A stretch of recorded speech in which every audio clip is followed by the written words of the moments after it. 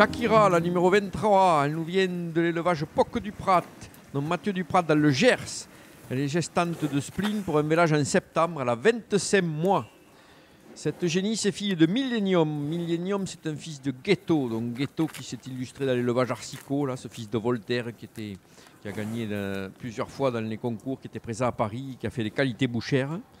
Et Mercotte, donc sa mère, une vache reconnue, pointée 79A, qui nous vient de l'élevage de Sazi.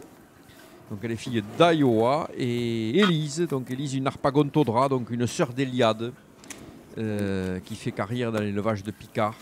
C'est donc Exaltation, la grand-mère, est une fille de Théodule et Orchidée de l'élevage Cransac. Donc voilà, une génisse tardive crue.